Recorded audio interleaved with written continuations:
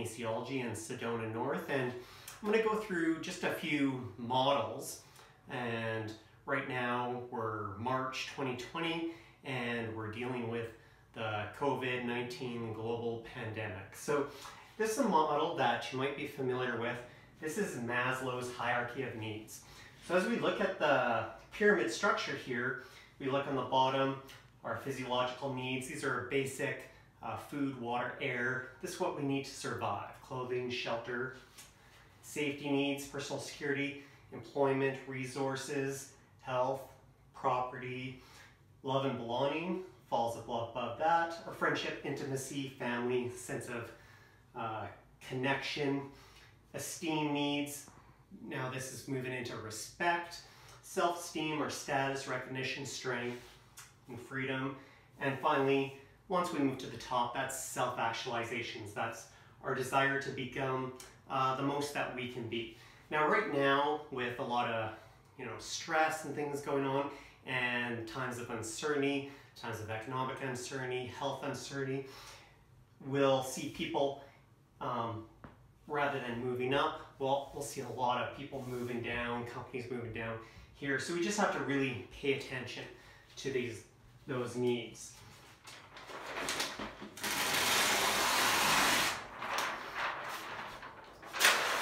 Another example of a model we can look at, and this is the Lencioni model uh, for teams. Um, so five dysfunction of the team or five methods of a cohesive team. So when our team's in dysfunction, we're having an absence of trust, uh, fear of conflict, lack of communication, avoidance of accountability, and inattention to results. But again, we can see the foundation here for trust. So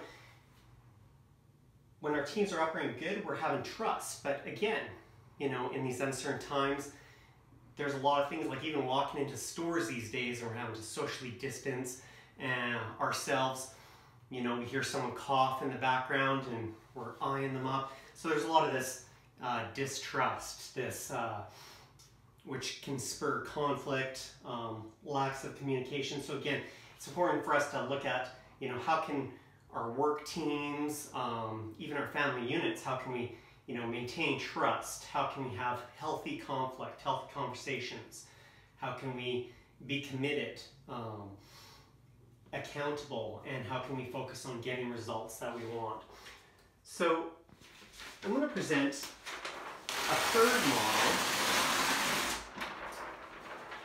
And this is something that you might not be familiar with, you may not have seen, but this is a different way of looking at a, a triangle model.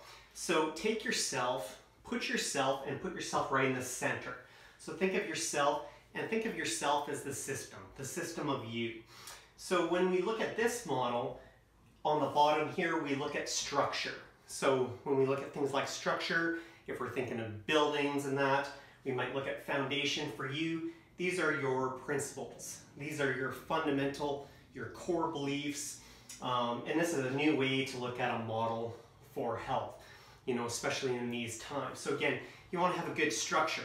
For example, um, having a lower lumbar uh, number three vertebrae out, you know, we could start seeing symptoms, you know, headaches, pain in our neck, pain in our shoulder, pain in the wrist, pain in our ankle, knee, hip, all stemming from one point just due to the nerve response. So we want to make sure that, you know, our structure, especially in these times that we're maintaining good structure, good form, good balance, um, all those things, that's going to set ourself up for our best health success.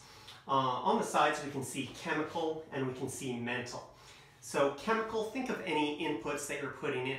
So now again, we're faced with challenges because with clinic closures and things like that, you might not be able to get prescriptions or, or things like that. But inputs can be anything. Inputs can be um, the food you're eating, uh, the exercise that you're enduring, uh, going for walks. Um, we also want to be really present on the negative input. So if you're spending too much time watching the news, you know, maybe you're, you need to unplug from some of the social media, things like that. We want to have more healthy inputs, more coming in. I like to use this example, uh, GIGO. This comes from computer languaging. Uh, we can look at this as garbage in, garbage out, or good in, good out. Now mental, mental is more the outputs. So when Jen and I go into schools and we teach this to kids, you know, for example, we would say your teacher teaches you the class. You're taking in your lessons, your inputs. Now you're um, taking all that information and now you have to present and do your report. You have to do your assignment. But now if all of a sudden you're also taking inputs of unhealthy food, um, you have a lot of stress in that, that's going to affect your overall output. So it's really important in times like this that we're bringing in as much of those healthy inputs as we can. Again, maintaining our structure, good form. Um, this is going to have our holistic system operating at its best capacity.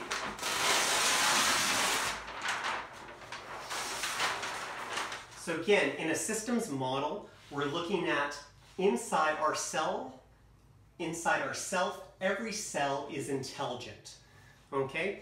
We don't have to think to breathe. We don't have to think to allow our heart to pump, our organs to do all the processes.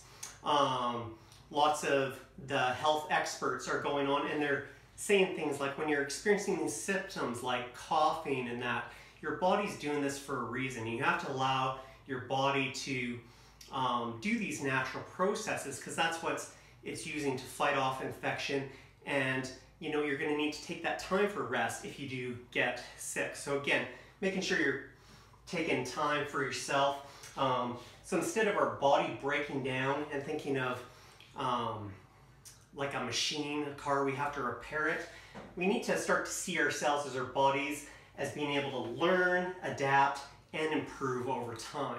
We're constantly regenerating cells, and we have to look at this self-directed system as, as being able to do that. So what are some things that we can do? What are a host of better inputs that we can start bringing into our body system? Well, we want to start relying on our body's intelligence, trusting our body's intelligence. When we're tired, we need to rest, okay? We need to, pay, especially in times like this, pay attention to those things. Avoid toxins, you know, cigarettes, cutting down your alcohol consumption, all these things, these are going to lower your immune system. So right now, reducing, minimizing the toxins that we're putting in. Uh, building a positive mood, you know, doing whatever activities, you know, watching comedy movies, anything that's going to bring up your mood, um, better inputs. Again, strong self-esteem, a sense of worth, okay? Uh, generosity of spirit, helping someone else, that's gonna produce all kinds of, you know, those feel-good hormones like serotonin, that, that's just gonna boost up your immune system as well. Uh, loving, nurturing relationships, we need to pay attention to those and not stressing over others, okay?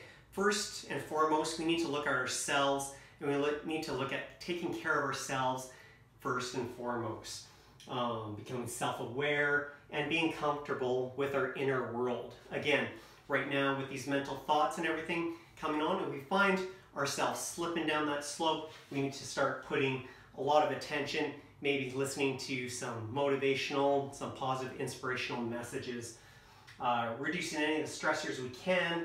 Again, good night's sleep, getting as much sleep as we can, you know, at least seven to nine hours per night. Um, Again, having a relaxed and accepting attitude.